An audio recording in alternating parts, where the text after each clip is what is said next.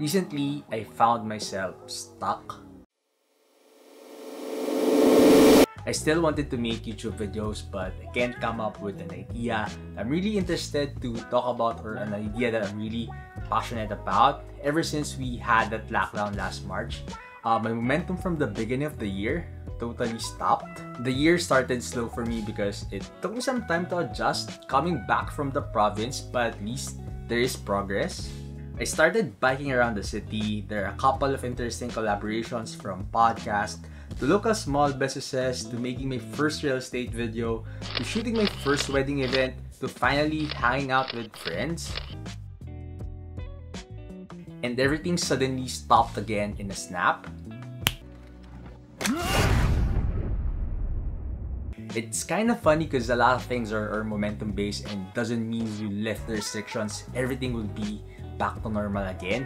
It will definitely take some time and we'll go through another uh, adjusting process again and it's kind of frustrating for me right now because I'm having a creative block and everything seems so uninteresting and it, almost nothing makes sense right now. Plus, I'm also struggling with the concept of progress when it comes to my channel because I feel that I'm only bonded to two types of topics and that is personal finance and, and adulting and to be honest I kind of grown out of it couldn't provide any more uh, new input that will provide value and I don't want to um, recycle topics or ideas just for the views because that doesn't actually excite me. Doesn't mean I won't make any personal finance and adulting videos anymore. I just won't do it as often.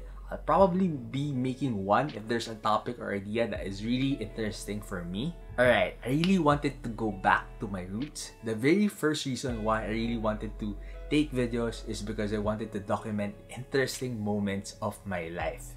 Whenever I browse my hard drive or my YouTube channel, the only types of videos that I ever watch again are the videos that capture moments of my life or something that tells a good story and never the how-to videos or the best of videos or the top of these videos or my, my most viewed videos.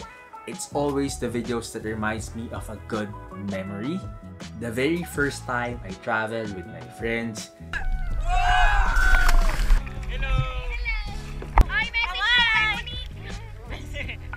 First time I tried flow riding.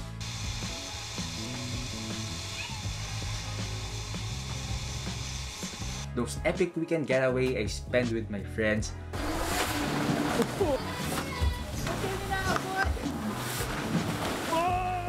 those simple moments that made us laugh so hard from board games.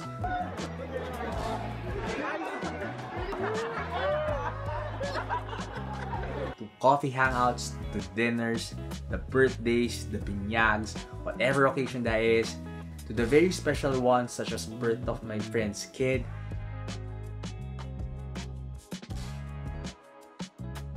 I want to make more of this kind of videos. And that is the reason why I wanted a restart.